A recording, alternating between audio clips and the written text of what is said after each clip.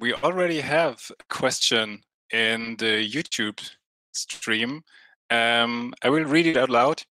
So um, Paul is asking, from your diverse backgrounds and experiences, what are the things that I should keep an eye on?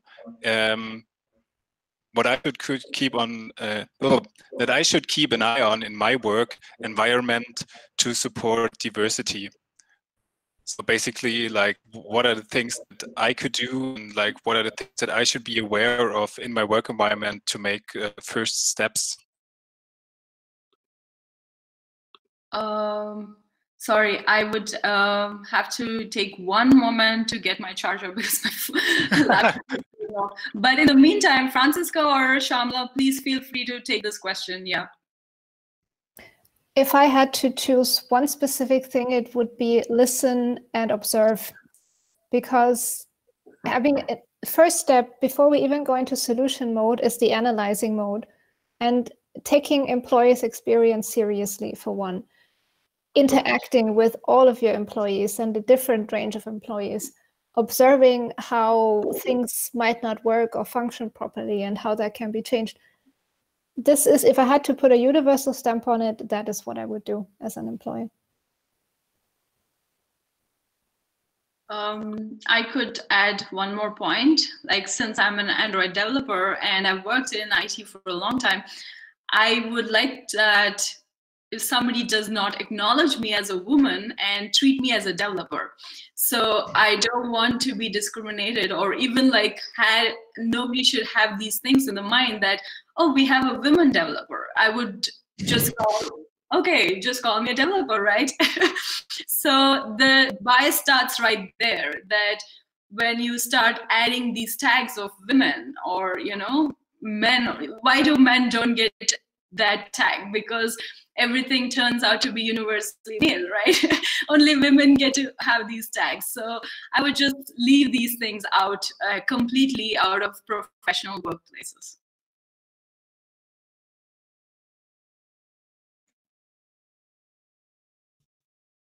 All right.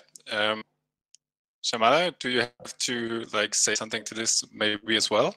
Mm-hmm. I think um, I totally agree with um, um, both Franziska and uh, Sowmya. Uh, one of the things that I would suggest is like you know on on on the same lines is observe and analyze. Like when you observe that you know so so many times we have all come across that in a meeting that you would raise your voice and somebody was all is always cutting you down or like you know not giving you the voice to speak you know you know be aware of that. And you know as an ally you could really like you know um, point this out and say like hey you know you should probably give the opportunity uh, for this person uh, to talk. You have been cutting this person uh, all the time. Like it doesn't happen to uh, uh, just women. It, it, always happens to um, you know uh, people who are not you know it, it's always like the loud voice wins. So please be aware like you know, what's happening around you and and and be a good ally and and step up and and, and speak when when something is not right um, if I uh, can add to that, to that perspective, um, we often see situations where there is like women's programs and diversity programs, and it's that's fine and dandy. But if you only train or coach or mentor the people that are sort of perceived as the non-standard, then nothing will ever change. Allyship is so central. So even just not, not just saying, okay, be an ally and act like an ally, because oftentimes, especially when we look towards gender diversity, I found that in these situations that Syamala just described, men were completely unaware of what was going on until afterwards I explained it to them. And why? It's because of their socialization, oftentimes. So, developing that sense is just as important. So, we need encouragements, trainings, coachings, whatever, not just for the let's say the the, the person the group that we want to encourage that we want to thrive. No we need it for everyone. Everyone needs to change. Cool. So um the things you've uh, said were now like more about when you already have like the people in your company. But um like uh, my company has the problem we don't have that many people like in our company. Like what can we do to make us more um, attractive for like folks like you? So i don't know like what when you are looking for new jobs or something like that like what are you looking for? Um, maybe um, what are the things that recently um, i kind of like had a survey uh, where I put like you know some questions like what would make this interesting. So you if so first you want to know like you know what kind of cultural additions that you want to uh, bring uh, to your team. So which means like first thing is to go and look at your job description or the website and the kind of language and and the focus like you know um, that you put on the job description. So um, saying something like uh, we need someone who is a good front-end developer, back-end developer, knows AWS, can fix MacBooks when it's broken. You know, you're asking for a whole IT department, and and most of the time, it is basically you know um, proven that women tend to be putting 200 percent I'm just talking like women, but you know, in in general, like you know, a lot of folks um, basically look into this job description and then say like, okay, you know, you have like um, words something that say superhero or like you know the superlative uh, words like you know the first step is to go back and look at the kind of language the job description is having uh, you know um, and it's it asking for a whole it department like you know things like that tone it down or, and also have a look at your website you know. It, it shouldn't look super fake in terms of like you know uh, diversity like photoshop pictures or like you know you you say something but you do something else uh, things like that. Like you know you have to bring authentic and organic credibility um, um, uh, you know to to invite people so that like you know they find a safe space. And for me the first part would be to have a look at the job description. That would be the first place to start uh, Syamala, you, you reminded me of a situation where I went uh, for a freelance gig and I went to the company to, to get to know everyone. And they had a smoke room. They didn't have a parents' room. They didn't have a quiet room. They didn't have a medic room. They had a smoke room. And that just, that was very vivid because that's, it was yeah. difficult for me to imagine myself in a, in a, in a company where there's a smoke room. Um, yeah. And it basically sent all the wrong signals. Uh, and, and as again i don't think that this was consciously done but um, just the way how how do you invite and onboard someone? That starts at the very first, first touch point that a person has with the company and that goes all the way through the employee experience up to wherever in the career ladder they are going. And we have to always ask ourselves about implicit biases as well. A lot of the times it's like i have i to this day and i'm stating this publicly in this meetup i have a bias against women in my subconscious because i was raised that way. I was raised with men are more valuable they can do more than women. So up until this day i have situations where i ascribe more um, let's say competence to men but i also know that i have it so i constantly question and ask myself I challenge myself. And if we have that that uh, consciousness in every single person, then I think we're already at the point where we're more open to actually questioning all of our language, our thoughts, our actions, and so forth, to then permeate every single aspect of the company. There is there are no simple answers for complex questions, but there are complex solutions for complex uh, questions. Um, I have something to add if both of you are so um, also like I feel uh, because you asked during hiring process, I actually have, I do think that um, like if you go to the communities and look for women, uh, it's much easier to actually source women out, right? Like the talent uh, also like for instance women tech makers women who code where there are huge communities where you can come in. Even in like coderbee there was like freelance gigs where people found uh, just by being there at a meetup right? So uh, just be present uh, and look for places where women hang out and uh, do this as well. That is very organic way of finding people. And you can also connect with them on the lines that you can on personal level and pitch your company and why you think could this person be a good talent in your company right? So it's more personal that way. And women i think in general value this personal connection. And uh, i also see that um, it's not just that like mostly all the websites like like i said code of conduct. Uh, I had an issue where uh, I was faced with like sexual harassment in Berlin once.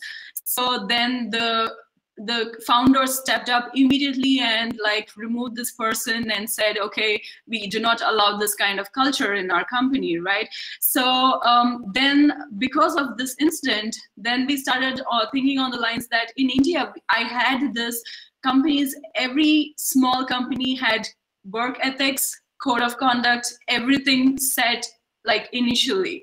So like i don't find this quite often in berlin and i do make a point to actually ask hrs or whoever is concerned to talk about this because like i said uh, psychological safety for women is way more important as well where people work. And um, some things I also did a research on was another thing like mothers want a creche or a kindergarten or uh, however, uh, which Franziska was also mentioning that having a parent room or a creche is much more important than having like a game room or even like, I don't know, smoke room, nap rooms, things like and uh, also when it comes to games right like there's kicker there's snooker there's everything that men want. It's not like women are asked also because there are no women right? So there's a lot of things like this that when you walk in the interiors could be not that uh, you know friendly. It might look very not warm and ambience wise that is another thing like design has a lot of uh, effect on mentality and mindset but uh, Sowmya, can, can, can I add on to your point of parents'? Sure. Yeah. Send men into uh, the so-called baby pause, like have them take parental leave, and yeah. men also like men. We we have so many great men in tech taking care of their children, so care like they they you can see that really really well, and a lot of companies just are on sort of the, the, the, the, default mode of, yeah, the woman is going to take parental leave, but not the man. Send your yeah. man into parental leave and have backup and have situations where they can comfortably do so. And then you already have an atmosphere that will attract women from the outside much, much more. Just sorry for adding on to that, Sowmya, but no, I just, that's totally uh, valuable, I think. And if there are already women, that's like a bonus thing because you kind of yeah it's it's way more attractive when there are women employees uh, and they're working with like eight or ten guys even in small startups. I would just say no like outright rather than you know if i have to fight with 10 people on a daily basis and make my point uh, without any support i'd rather not do this right? Like i've had experiences as well. So yeah like um that's always good to have like people from different uh, backgrounds also to um, support somebody's claim because otherwise who is going to support you when uh, yeah there's a difference in opinion for instance right? There should be a neutral pers- uh, perspective to everything so. But but I also had situations where I heard stories of in the application process, a lot of women were placed into the application process so that the candidate was in touch with a lot of women. Just after they started, it turned out that there weren't actually that many women, and they had pulled all of the women of the organization into the application process, which is also not good. Try to stick to what you have, be yeah. transparent, be honest. Otherwise, what will happen is the woman will probably just, you know, end up leaving or replace women with whoever is has a diverse background. Um, if that person doesn't feel supported because they had this this impression that the company was going to be like that, they will end up just leaving and that's a lot of investment into onboarding and so forth that's also not valuable. So honesty sincerity they go a long way. And equal pay as well. Equal pay is great. Um, yeah i mean one of the things one of the things that I kind of like want to touch base is also, I mean, despite like however developed we are getting, like still, um, you know, women are primary caretakers for the family. So having like remote options, work from home, flexible timings, four days work week, you know, all of these things kind of like, you know, really, really uh, matter, uh, you know, not just for women. So uh, one of my friends uh, recently said that, you know, if you, if you fix a problem for, you know, one particular set of group you're probably fixing problem for you know you don't know who like for example like if you have these kind of like flexible working hours or um, you know four day work week uh, a, a, single uh, parent like you know is also benefited uh, from from that. You know they they could be men single parent who are taking care of kids. Like you know you you, you don't know who um, is going to be benefiting uh, uh, from this. So like you know having these kind of thoughts in, in in the mind like you know with respect to remote work work from home i think corona has kind of like um, uh, proved that you know uh, i mean despite everything that's bad happening around us it kind of like gave us a push towards like you know thinking remote putting in, in, in like you know effort into documentation and you know putting into communication you know a lot of these things also happen. So these kind of things also help like to um, you know bring diverse folks into your team Yeah, that's that's very interesting because, like, for me myself, it makes me aware that like a lot of the regulations or a lot of the standards or like the kind of like implicit biases we have, like they are from the rules that came from times where I don't know, maybe even women weren't even allowed to work. So obviously these rules were made by men and with the needs for men and like like every person, if it's like if it comes down to gender or like to other kind of uh, ethnicity issues, like we all have different kind of needs. Like basically every person has their different kind of needs and like the the goal in the end should be kind of like to not uh, look for gender or don't look for ethnicity, but to make it like for every person with their own like personal needs, like uh, like you, Franziska, said, with like when it comes to illnesses or when it comes to gender or when it comes to ethnicity, to have like a safe workplace, like um, a safe workplace space where you could work and be like acknowledged for the person you are and not for the type of human or whatever you want to call it you are. So um, yeah that that's think what you guys what you folks said it was like really really cool because uh, it makes it makes um, it shares like awareness for these kind of things that we usually don't think about because they tend to be so normal for us even they're not normal at all. Just like because you're i don't know just like me a white privileged man in his mid age so yeah I uh, totally agree with you, Guy. Uh, okay. Clemens, Clemens, one addition. Yes. I was once asked at a meetup uh, if I meet a person in a wheelchair, uh, can I ask them what they have? It's a very innocent question. And I said, yes, but get to know that person first because it's just one aspect about them. It's just one thing that defines them as a person, as a character, as whoever they are they are person first and foremost. So every person potentially has the potential to be a manager, to be a leader, to be uh, contributing in astonishing ways. It's about unlocking that potential. So first of all, seeing the person. It's challenging, yeah. but we need to remind ourselves of that fact. Yeah, that's that's a good point. And, it, and I mean, if you think about it, it makes totally sense because if you get to know someone from the beginning you wouldn't ask them like personal questions at first. Like i wouldn't i wouldn't go to like some people like a person i met in a store and ask him so okay um like how was the death of your father for you? So um and and it basically comes down to that because like like you said no isn't that that behind all these kind of things there are stories and they can hurt or maybe they're happy i don't know but uh, at first they're personal so yeah good uh, really good point uh, we have another question in the chat um, once again from paul um, and he's asking uh, we're organizing a lot of events.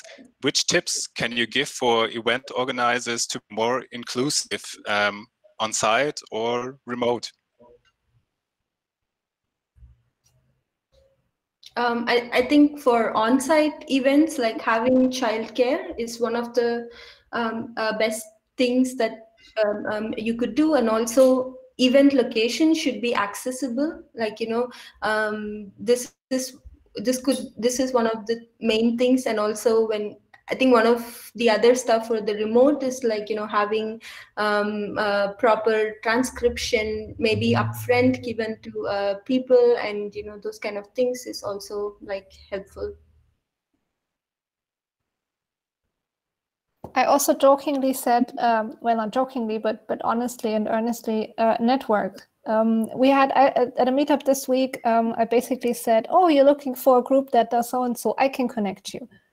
Ask ask, ask, ask. And even if it gets tired, I think we had that point uh, at the very beginning. Ask for recommendations. And also, I think, Sowmya, you mentioned that as well. Um, people that have a diverse network already attract a more diverse network, and that sort of multiplies. So, oftentimes, um, I, I, I, once even got the question of, oh, you can recommend a female speaker in DevOps. Who is she and where do I get? I was like, yes, I can recommend too, um, which is rare, which is rare. Um, but they are there. They are there. They are existing. Ask and and and and don't give up. Sometimes it might be super super frustrating. Might be super super challenging to you know go to all these people and basically beg, but do it. Just do it, and don't be satisfied with let's say the the white straight dude middle aged lineup and that's it. Yeah, thanks for that, Franziska. I also feel this. There are lots of speakers, women speakers, and um, I also see in many meetups, it's all kind of a trend not to like look for people, just like how people don't look for women developers. I've given up on women devs, like, you know, kind of the same mentality, like, why should we when there are so many guys available to talk, you know? So it's important to make sure that the profile is diverse and everybody brings something to the table from different backgrounds. And that's, thanks for mentioning that actually, yeah um, uh, just in uh, addition, uh, at one of my uh, meetups, it happened that there was a lady who came uh, for a workshop, and uh, by the end of the workshop, she started like attacking two guys who she was sitting with on the table and using, you know, abusive language. And i had to like really apologize to these guys and uh, kind of remove her from the meetup group. So like one of the examples is like this is not like i would say it is possible that women are also abusive right against men. It's not a norm that or anything uh, that could be that women are being protected by code of conduct. It's for everybody. So that's why it's important like I always say we abide by berlincodeofconduct.org, which has completely details of what that Berlin Code of Conduct is, and most of the communities abide by this.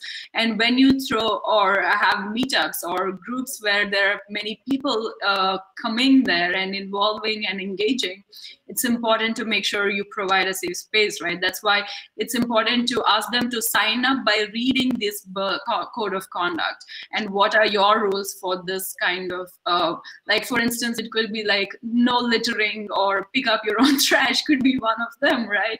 So yeah, I think this is uh, something that I wanted to add. I also thought spontaneously again. I mean, there are probably thousands of things that we could tell you because we have experienced all that, have gone through that. We are all organizers, um, but cooperations with other groups, fabulous stuff.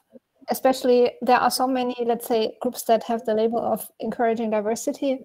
Just collaborate with them and don't do it because you want to increase your diversity. Also, I had that discussion this week. Like, can I approach the, the you know black tech group to get more black people involved in my meetup? No, don't do it do it do something do a hackathon with them or just have you know a, a, joint meetup because you want to have fun with them do it do it that way. And then everything else will follow. Don't expect that all of a sudden you will have a black organizer on your team just because you wanted to have a black organizer. No.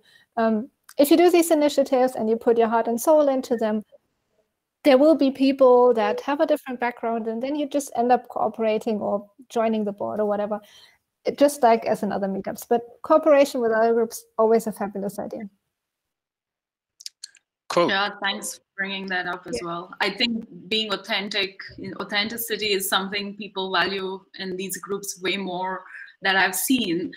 That uh, people want to kind of stop this like tokenism and things like that. That's why it's important it's like way more effort than one can imagine but it's well paying off later in but because it's a long term uh, goal and long term effort that is required and it won't be like in next month you'll find a speaker and everything's going to change for you right? So yeah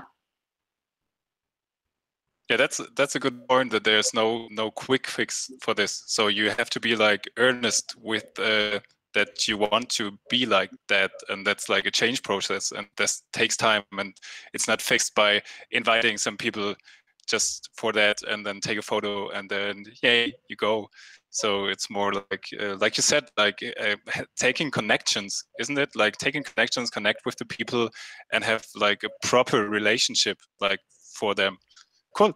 Um our paul is like asking questions uh, questions and questions. So here's like another one he uh, wrote in the jar in the chat and it's like um, if you think outside of the company itself how can a company change society by being aware in relations with customers partners and suppliers?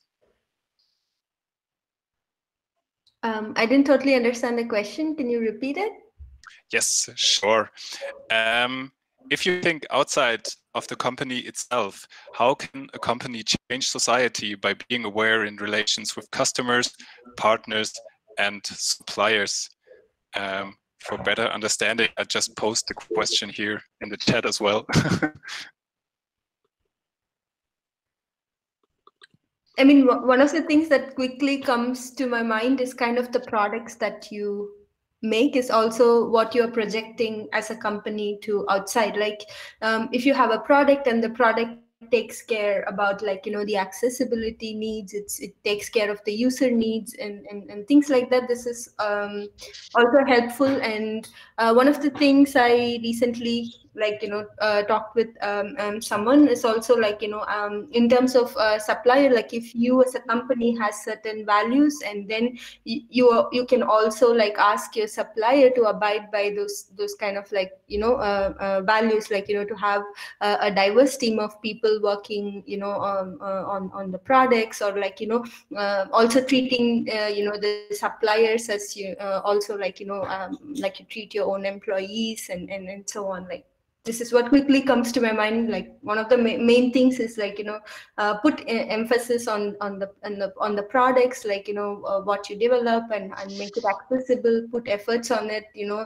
empathize with your um, uh, users and, and and so on. This could really like you know uh, build up in in terms of like you know how you can be that exemplary role model you know to the society.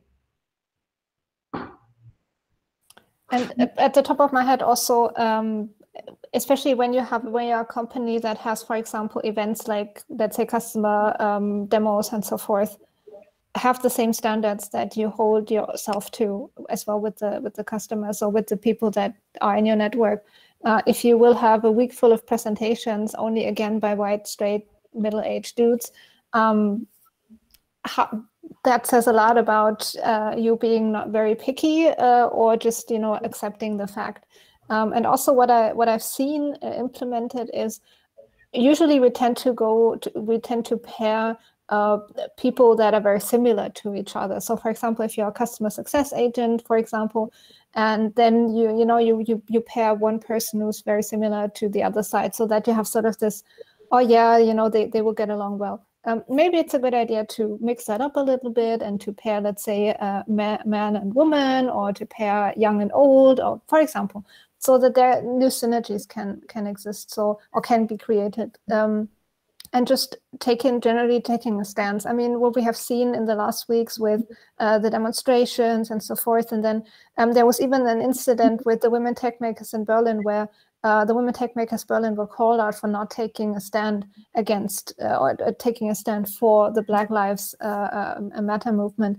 Um, where I'm not saying that it should be done or shouldn't be done, but it's very helpful to not just if you take a stand, take a stand, but also to act upon that. So not just you know uh, post maybe a tweet with oh yeah we're so and so and we we we support, but then not doing anything. Following up is also crucial.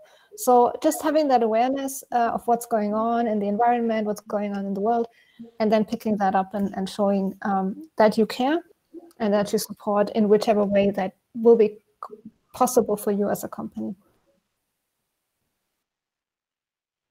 Um, I have a point on a user uh, di having diverse and attracting diverse users, right? Like for business, because uh, not just in like um, the I know the question said uh, in the society, not just in the company, but the company in the company users uh, i have seen like majority of the users and ads targeting users of only one certain uh, homogeneous groups. And i have worked for companies where i was the only woman developer and still i could see that like there were less than 10% of women on the platform for instance and i had to speak up and say something uh, to the you know founders and make sure they put something out there where women could come and like spend time on the apps for instance.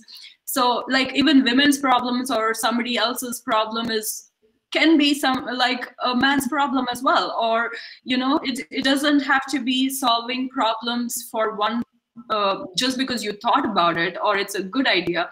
Uh, it could be a social problem in general which women are facing or people of uh, some other group or minorities facing so uh, kind of being aware like socially providing value uh, by not just uh, making compartment compartment compartmentalizing everything and i finally got it. So instead of that like bringing social values also to businesses kind of matters and not just diversity like i said right it could be users. Also focus like why is there not enough women users? So look at the data look at how you can improve it. Uh, so it's yeah it, it is a a responsibility in a way that everybody could work on, right? Uh, and this will actually change the social value itself. And uh, this is actually going to impact the society itself if you have more women on the team or more users on the team.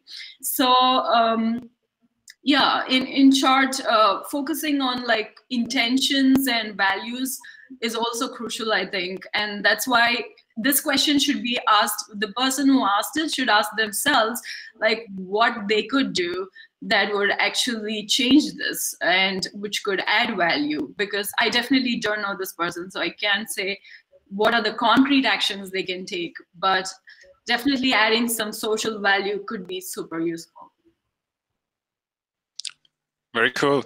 Like when um, Syamala said the first point about like the product, I had in mind an article which I um, read recently about like um, I'm I'm into video games and like in a few weeks will will be uh, there. The Last of Us 2, which is like a really huge game for PlayStation, and um, for this day game the uh, studio took like um, a very broad approach when it comes to accessibility for people who have like um, visual or hearing impaired. So they have um, a high contrast mode, and you could basically tweak all the graphic settings so that you could play this game even if you're blind, even if you like if you hear nothing. And um, like this is really really cool because like a friend of mine, he's uh, he can't hear, so this is like really um, cool for him because like first time he has like a game which gives him which helps him actually play this and enjoy it more. So this is like really really cool and like thinking of the the product which is obviously like the core of a company. This is like like really really cool. Uh, Clemens, we recently had a speaker in our accessibility meetup in Berlin who talked exactly about that accessibility in games. Oh, and wow, the cool. wealth of knowledge is just amazing. And here you can see the, the recommendation and network effect. I know people that I can recommend to you, which I will do after this. Oh, that's so nice. Already love it. Already love it. Um, all right, we have um, another question. I will put it uh, here on our chat before. Um, what would you say is the single most important action a company as an entity can take to increase its diversity apart from being non-discriminatory in their hiring process?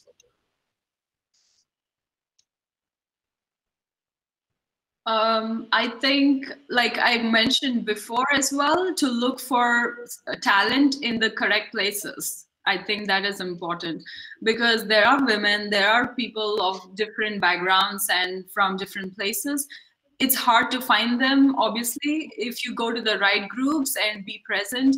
I think um, this is what is missing from hiring process, in my opinion, that you want talent to come to you and most talent that comes to you are people of particular backgrounds or you know or gender or whatever it is so look for diversity. Don't just stay and wait for them people to come to you.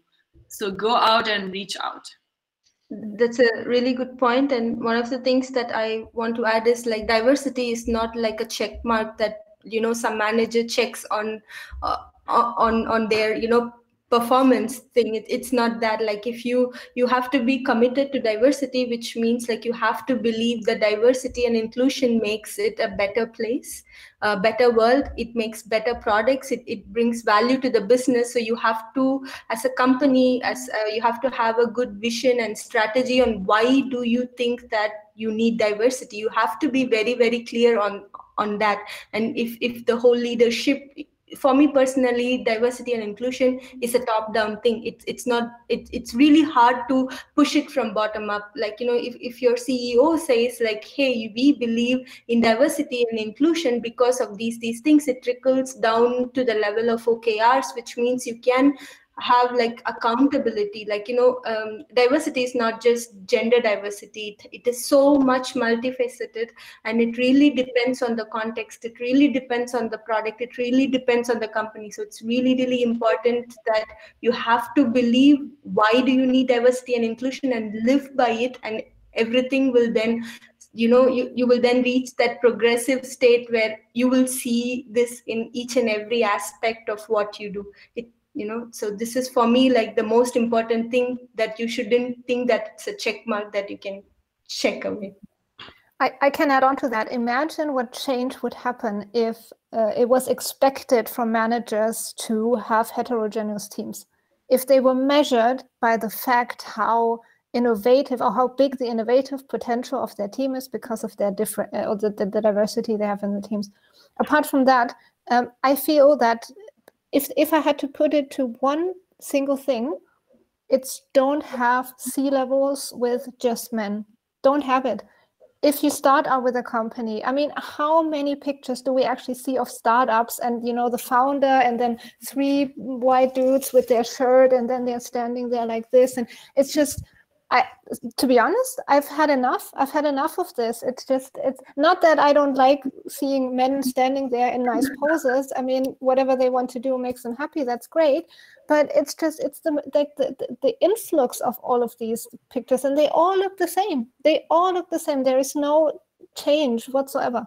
So even before you start a company, think about that fact. And if you have a company make sure that you are not just you know your your bros from university that you are starting the company with and that later on will be on C-level it, it's a representation thing. And if i already see a not just one quota woman that's also a fact not just one quota woman up there but two or three and maybe a person of color and maybe a person who's openly living with disabilities or a person who's openly on the lgbtqia plus spectrum which we haven't talked about a lot today i feel um, what does that signal to me? Yes, I can see myself up there.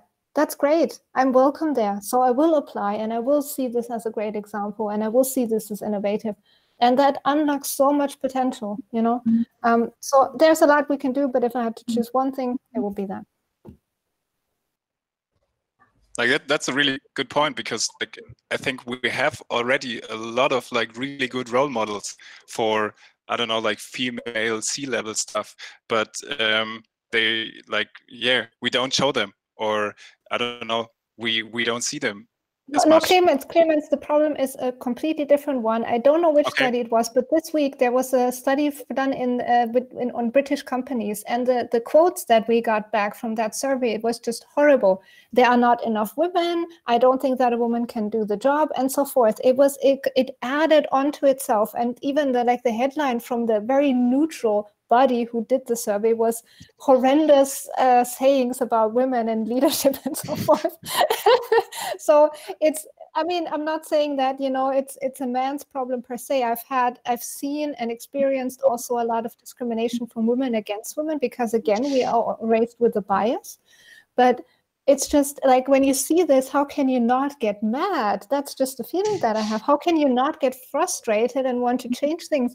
And a lot of the times when I speak to men, I have a feeling that us women who are active in the diversity sphere, we live in this bubble, right? And then I talk to other men and other women in the sphere, and they know what I'm talking about. But people outside of this filter bubble have no idea what I'm talking about. They're like, oh, I never knew. And I'm like, don't you look around and notice how many people who are different from you work in your company? So for for us it might be very apparent for other people it's not. And again the first step is awareness but just like this this this approach that still persists in a lot like in a lot of layers of society. And you see that I get very emotional when I talk about this because, as I said, I was raised in a family that was super, super just male biased and whatnot. Um, so just that it's still around in the year 2020 is unfathomable for me. And it's mindset. It's about mindset and making these opportunities and, and, and seeing a person for what they are person but but I can totally understand that you get emotional for that because I, I I, just can try to assume like all the stuff that you guys have to face like all all your life kind of like thing you, know what I mean and like there's a lot of I guess like a lot of anger that like a person like me never had to have because it was easy for me so i never had to be angry because like there was a guy who was like promoted and not me even though I was better or something like that.